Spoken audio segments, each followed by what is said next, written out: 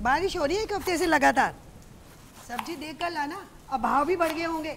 सही दाम लगाए तभी लाना वरना मत लाना। अब कुछ भी उठा के ले आते हो वो ढंग का लाए हो आज तक।